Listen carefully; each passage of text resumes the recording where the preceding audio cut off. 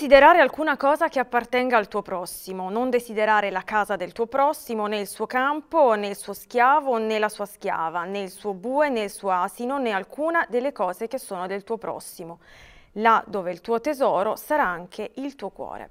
Bentrovati cari telespettatori ad un nuovo appuntamento con dialoghi sulla fede, bentrovato Padre Francesco. Bentrovati a voi. Padre Francesco, questo è il decimo comandamento. Mi ricorda moltissimo il nono. Sì. Anche questo comandamento in qualche maniera condanna l'invidia e ci mette in guardia dall'invidia? Sì, sì, sì. Ehm, eh, sono molto legati i due comandamenti fondamentalmente perché, ed è, e questo ti fa capire come eh, c'è bisogno di eh, esemplificare molto. Mm. Uh, di scendere proprio nel, nel particolare. Sì, sì, perché, perché alla fine la, la, la realtà dell'invidia è molto radicata no? all'interno dell'ambito umano e quindi diciamo, uh, crea e fa molti danni no? l'invidia uh, stessa. Quindi eh, in un qualche modo è necessario che l'uomo stia attento a non desiderare, cioè a non volere le cose che hanno gli altri e non volere nemmeno le persone che sono di altri. Qui vabbè, eh, in, in, uno dei due eh, chiaramente poi quello che risalta, forse la, il punto eh, che diventa eh, determinante eh, è, è, il punto da un lato dell'adulterio in un qualche modo, no?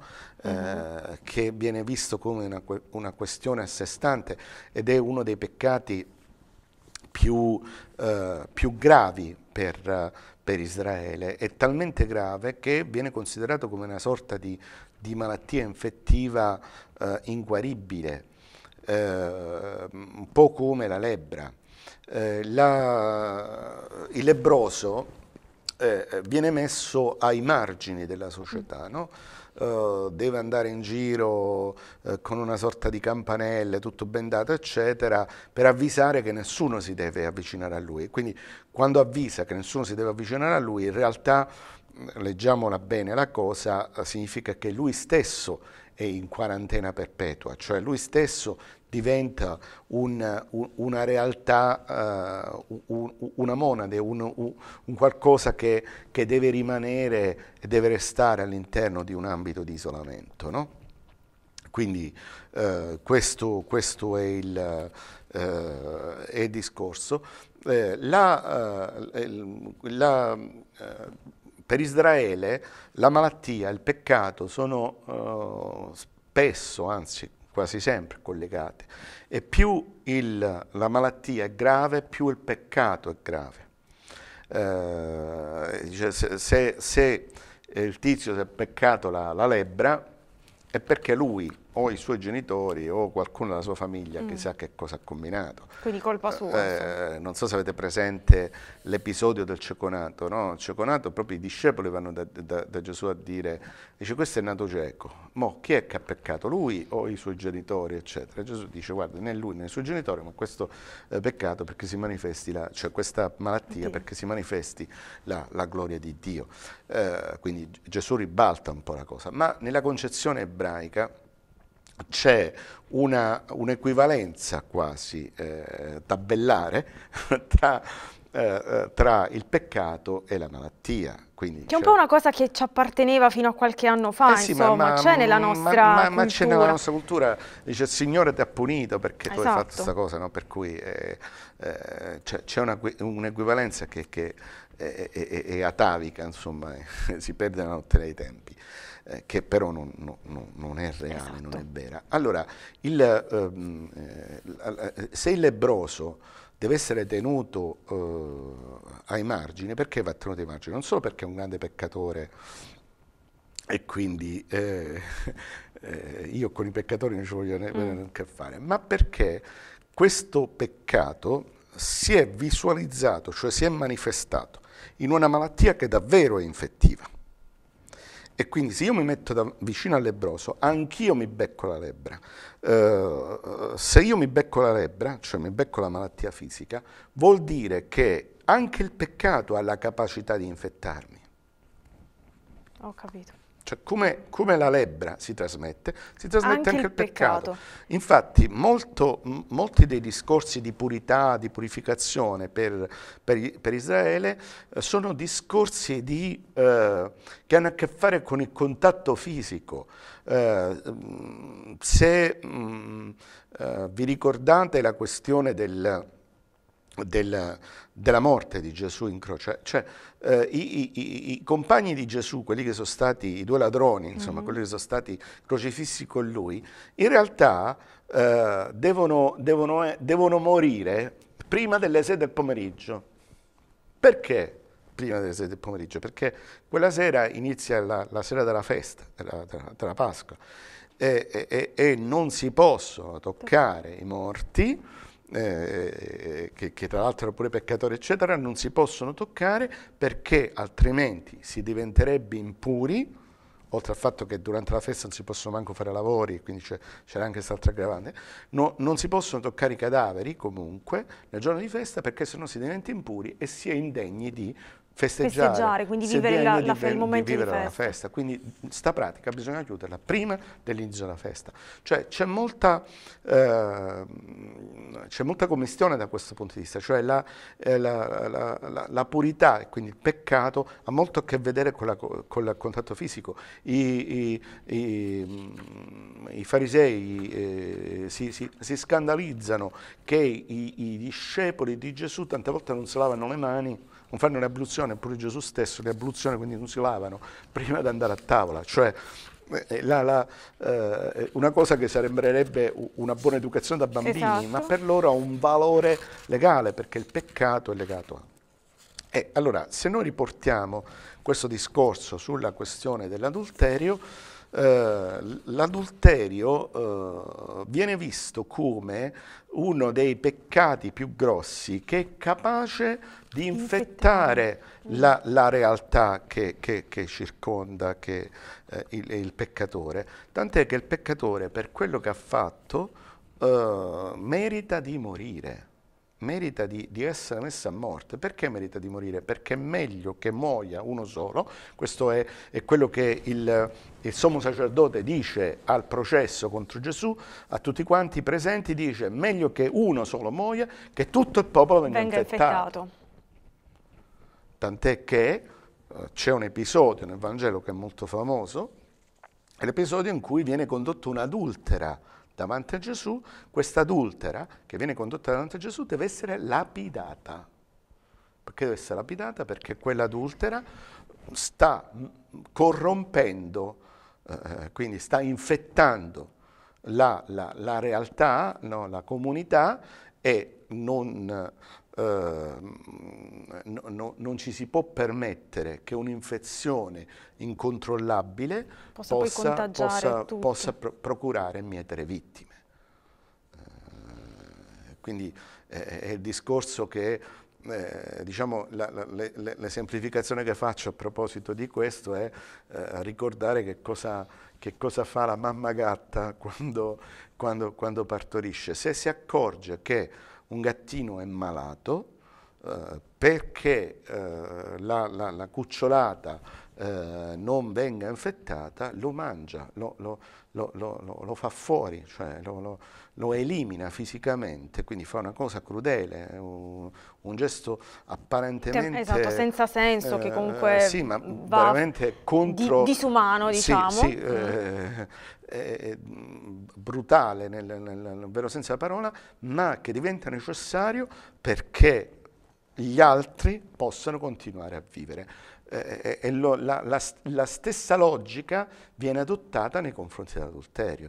Ecco perché di fatto è, è la, eh, diciamo uno dei due comandamenti, no? quindi tra il nono e il decimo, eh, mette in evidenza di più l'aspetto, eh, dell'adulterio eh, fra le varie cose che non si devono desiderare. No? Uh -huh. C'è la donna d'altri, o, o, quindi c'è no, l'uomo d'altri, e quindi il peccato d'adulterio che ha in un qualche modo eh, una, una, una, sua giustificazione. Dopodiché eh, questa roba d'altri che non si deve invidiare o che non si deve desiderare eh, fa riferimento anche eh, al fatto che eh, la Bibbia eh, sostanzialmente continua a ripetere che eh, c'è un equilibrio, ci deve essere un equilibrio eh, nei possedimenti. Mm.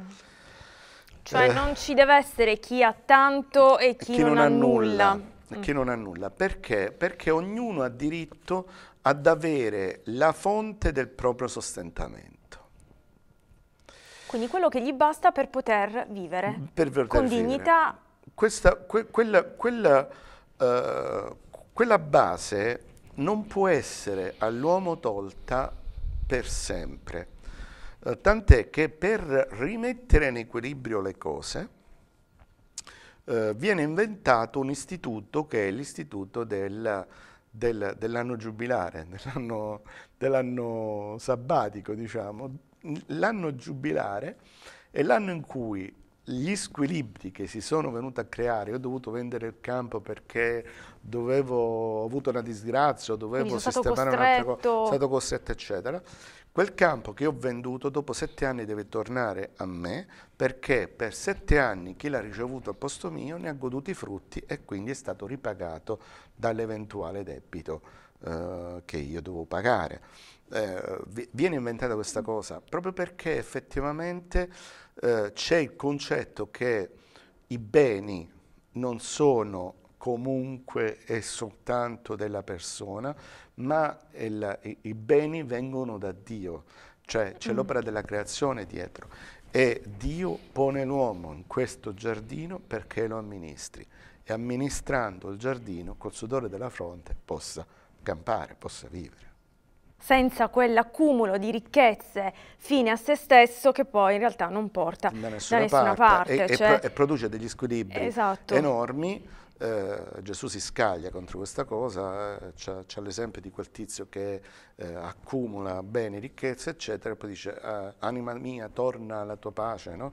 Eh, perché mo finalmente ti puoi godere tutto. E Gesù dice, stolto, stanotte stessa ti sarà tolta la tua vita e tutta questa ricchezza che hai accumulato, che cosa ti sarà servita? E infatti è proprio diciamo, in un passo del Vangelo di Luca che riporta questa, questa cosa che ci impone di non accumulare i tesori, le ricchezze, i beni materiali, sì, la, perché la, in realtà un domani... I, non... i, beni, i mezzi, i terreni eh, sono, uh, sono degli strumenti, non sono la finalità della nostra vita. Dice guardatevi e tenetevi lontano da ogni cupidigia perché anche se uno è nell'abbondanza la sua vita non dipende dai suoi beni.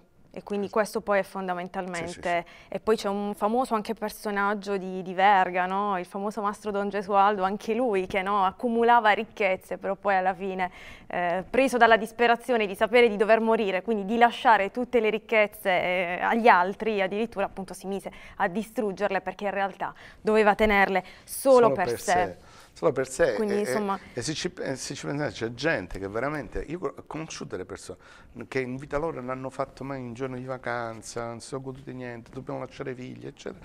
Poi dopo i figli hanno, hanno litigato per, per, i beni e, e, e, molti di questi beni poi vanno a fine agli avvocati o, o diventano cause di, di autodistruzione familiare. No? Cioè, eh, sì, i beni per carità eh, fanno comodo a tutti, però l'accumulo indistinto, eh, soprattutto a, a, a, alle spalle esatto, o sulle, sulle spalle degli altri, è una cosa anche qua di, che è deleteria per la realtà umana. Eh, e, noi non possiamo far finta di nulla da questo punto di vista, anche perché ho l'impressione che chi davvero uh, rispetta le regole, rispetta le norme, poi difficilmente possa accumulare chissà quante, quante ricchezze, no? cioè, eh, io le accumulo le ricchezze perché comincio ad evadere, no? evadere le tasse, comincio a, a, a, a giocare poco pulito no? e, quindi, e quindi alla fine riesco ad accumulare grandi tesori, eh, ma sti grandi tesori che io accumulo e quindi non pagando, quindi non facendo... Facendo un danno alla società, eh, facendo un faccio, danno agli faccio, altri Faccio anche. un danno alla società, vado contro non solo il settimo comandamento che è non rubare, ma vado contro il quinto comandamento perché tante persone non hanno le risorse o non si riescono a trovare le risorse per le persone che non ce la esatto. fanno a camminare con le loro gambe perché c'è qualcuno che quelle risorse se le portate via. E quindi poi a volte nella disperazione si fanno anche gesti sì, sì, ma, diciamo, eh, eh irrimediabili. Eh, io, io, vado contro il comandamento non perché ho ammazzato fisicamente, ma perché esatto. ho portato la gente a vivere in una situazione di indigenza, che è una situazione che potremmo definire subumana. Laddove il tuo tesoro sarà anche il tuo cuore. Che significa, Padre Francesco? Eh, che eh, anche qua eh, eh, se io invidio, quindi se io eh, divento ossessionato da, dall'avere le cose che hanno altri, sì. eh, per me il tesoro della mia vita diventa quello, cioè eh, la caccia al tesoro diventa quella di eh, dover a tutti i costi possedere, avere, accumulare le cose che eh, ha, il tizio che, che, a me piace. No? Mm-hmm. E, e, cioè se, questo, se, questo, è vero, significa che il mio cuore, il mio interesse, la mia propensione sarà tutta incentrata ad ottenere quella cosa là. E finché io non l'ottengo, sì. Uh, e non è detto che lo ottenga uh, realmente o che la posso ottenere in maniera lecita, finché io non lo ottengo, quella cosa, uh, non, non, guardo altro. Cioè, il centro della mia vita, qui il, il cuore non è soltanto il, la sede dei sentimenti, eh, perché per, eh, per, la Bibbia il cuore sostanzialmente è sede, la sede della ragione, eh, è la sede del, del, pensiero, e quindi quello che mi fa muovere, è la sede della volontà. Il cuore. Il cuore è la sede della volontà. Dice, laddove il tuo tesoro, lì è la, è la, è la, è la propensione della, della, del tuo movimento, della tua volontà, lì si pone il ragionamento, del, lì, lì, lì, risiedono i tuoi ragionamenti, lì risiede eh, la, la, tua attenzione, il tuo interesse. E quindi avere un, un cuore puro però a quel punto, che mi deve, mi deve aiutare a, a, capire che in realtà... Non... No, no, ma questa, questa, qui non c'è un giudizio, dietro a questa frase non c'è un giudizio eh, né in positivo né in negativo, eh, eh, è solo un dato di fatto, cioè è, mm. è solo una constatazione, cioè è, è, sta dicendo all'uditore o al lettore, sì. ricordati che dove, dove credi che sia il tuo tesoro, cioè dove è il tuo interesse, lì è centrata la tua persona. Quindi devi decidere quale deve essere l'interesse della tua vita. Se deve essere... E anche lì, cioè l'interesse della mia vita non deve essere quello di voler le cose, degli, esatto. le cose degli altri, ma di volere eh, cioè, di, di, di, valorizzare. di, valorizzare. le tue. E, e, e, e quindi qui non c'è un giudizio né positivo né negativo, qui sta dicendo, sta dicendo, guarda che la regola per cui mm. tu eh, sei portata ad agire è, eh, è questa. Eh, se tu capisci che il tuo centro di interesse, se tu capisci che il tuo bene è quello, poi ti muovi per fare quello. È tutto lì però, capire qual è il mio centro. Esatto, questo è. Ma, ma dietro a quella frase non c'è, nessun giudizio, cioè, uh, cioè un ricordo o, o, o un... Uh, Uh, sì, un, un, un, warning si dice in inglese mm-hmm. ormai, no? Cioè, uh, uh, att- attention please, no? cioè, attenzione, attenzione, guarda che eh, una volta che tu hai individuato il tuo, il tuo tesoro, cioè qual è il, la finalità della tua vita, poi dopo il tuo cuore, la tua mente, la tua propensione mira ad avere quello.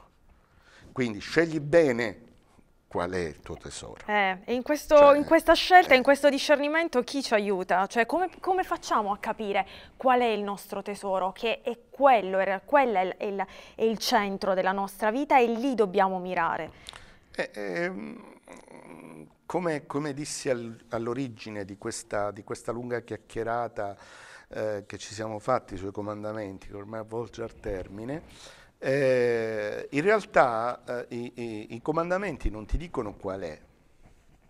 Ti danno una direzione. Ti danno, ti danno, ti aiutano. Eh, ti danno le sponde, eh, ti danno eh, più che la direzione, eh, ti, ti, ti, tracciano un alveo, un po' come, come, come, i margini di un fiume, no? ti, ti, ti, ti tracciano i confini uh -huh. eh, della, della sponda sinistra e della sponda destra entro i quali tu devi rimanere se vuoi di fatto realizzare davvero la tua vita. Cioè non ti sta dicendo... Quei parametri, diciamo. Sì, eh, dopodiché sì, la direzione generale ce l'hai, perché il fiume scorre in una direzione soltanto, non è che va avanti e indietro.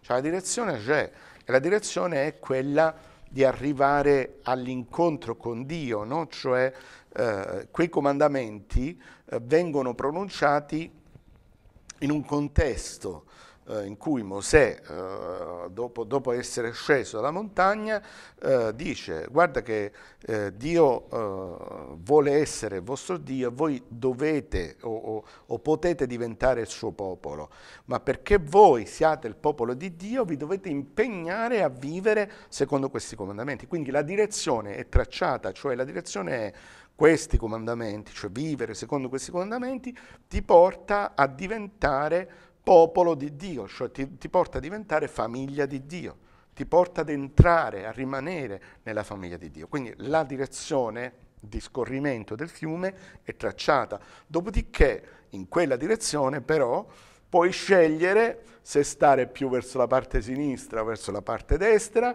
puoi scegliere un qualsiasi punto, se fermarti su un isolotto in mezzo al, al, al fiumiciattolo o continuare a... Cioè il modo di viaggiare poi lo decidi tu. Lo decidi tu. L'importante è che stai all'interno di questo fiume che va verso quella direzione. Cioè, non so se... E quindi questo ci aiuta appunto a capire qual è nostra, qual, il nostro centro. Qual è il nostro centro, cioè eh, come come poter realizzare la nostra, la nostra, la nostra vita, cioè eh, la, eh, una cosa che esce fuori, soprattutto appunto nel discorso che facevamo dell'invidia, è che eh, se io voglio essere davvero felice, se io voglio essere soddisfatto, eh, se io voglio godermi appieno la realtà della, della, della mia vita, io devo in un qualche modo eh, ehm, eh, valorizzare quello che, eh, quello che ho, quello, quello, che mi è stato dato, eh,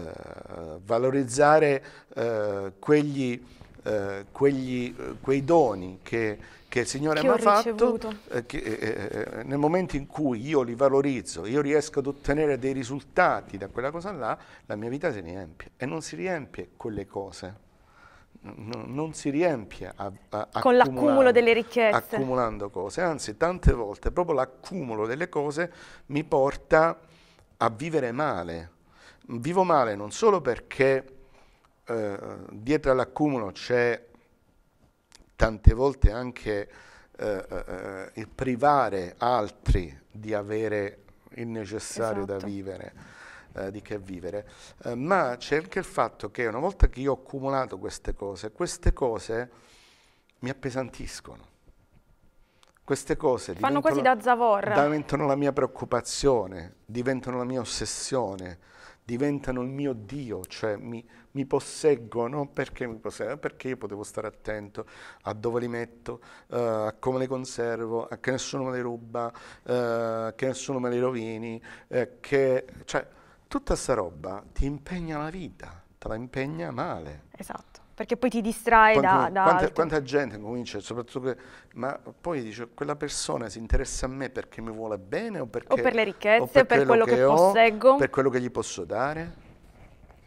Quindi in qualche maniera questi due comandamenti eh, ci riportano anche, se vogliamo, a una delle beatitudini, beati i poveri. Certo, poveri, sì, sì, poveri non in, nel senso che uno deve vivere nell'indigenza ma... e non deve avere diciamo, sì, no, no, no, ma, ma, no, no, è verissimo, è verissimo perché in realtà le beatitudini, allora mentre qua eh, dicevo i comandamenti che alla, alla, alla fine della storia l'abbiamo visti ormai tutti, cioè sono quasi tutti in negativo, no? Non fare questo, esatto. non fare quell'altro, non... Eh ce ne sono pochissimi che sono. Esatto, in chiave positiva. positiva. Onore e pare la madre, per esempio. Ma eh, non, eh, la, la, stragrande maggioranza sono non, non, proprio perché vogliono mettere queste... Questi uh, parametri, questi, diciamo. Questi, sì, questi più che parametri, eh, eh, questi, questi, confini sono... Questi argini? Sì, sono gli argini, sì, sono, eh, ti, ti, mettono degli argini entro i quali, quindi ti tracciano i confini della strada. corretta. Eh, le beatitudini che fanno? Rovesciano in positivo i, i comandamenti. Infatti le beatitudini eh, dicono eh, beato felice chi? In realtà è Macarios, Macarios vuol dire felice, eh, eh, cioè si gode la vita chi? cioè, si gode la vita chi è povero. Allora qui pure tra Luca e Matteo in realtà eh, esce fuori un, un, problema perché pure eh, Luca che la scrive eh, così mh, pulita eh, questa, questa, cosa dice beati i poveri eh, e non mette in spirito. Matteo la corregge in spirito perché ci sembra beati i poveri, dice caspita eh, come faccio a dire a un povero che, che, è beato, che, è beato, che è fortunato. Eh, che... E quindi dice beati i poveri in spirito, quindi corregge eh, o, o, specifica quella, quella, quella, quella, beatitudine. In realtà eh, qui quella povertà di fatto, o, o quella categoria di povertà, fa proprio riferimento alla, a un altro concetto che è il concetto di libertà. Beato chi non è legato esatto. a, alle cose che lo schiacciano, che, che, lo appesantiscono. Come dicevi prima. Che lo fanno sentire un Padre Eterno, che lo fanno sentire come uno che non ha bisogno di niente e di nessuno capito? Questo, questo, è, cioè non è la miseria di chi non, chi, di chi non ha nulla, perché, perché paradossalmente io che non ho nulla e sono legato, faccio un esempio, non so se qualcuno ha mai letto pa, pa, Paperino, eccetera, lo zio Paperone è legato alla alla prima moneta, al primo centesimo no? che ha mai guadagnato, è, è, la, è, la, è la, moneta fortunata che, che, la strega Amelia là come gli, gli, vuole rubare ogni tanto perché tutta la sua fortuna deriva da là. Può darsi pure che in fondo eh, tu non sei un zio peperone, cioè solo quella moneta, se sei legato a quella moneta, per te quella moneta diventa, eh, come dire, l'ossessione della tua vita, tu non sei povero tu sei, tu sei, legato a quella cosa, eh, quella cosa ti, ti, ti, ti ossessiona, ti, schiavizza, eh, diventa la, la, padrona della tua vita. Quindi qui c'è un concetto di libertà dietro. Esatto, in questo, in questo, senso quindi viene letta questa beatitudine. Sì. La nostra puntata di Dialoghi sulla fede termina qui, come dicevi tu, il nostro percorso attraverso i Dieci Comandamenti eh, termina qui ma in realtà dalla prossima puntata eh, continueremo ad, ad, intraprendere un altro viaggio, sempre legato naturalmente alla, alla, ai Dieci Comandamenti e ai nostri dialoghi sulla fede. Grazie per averci seguito. Grazie a voi.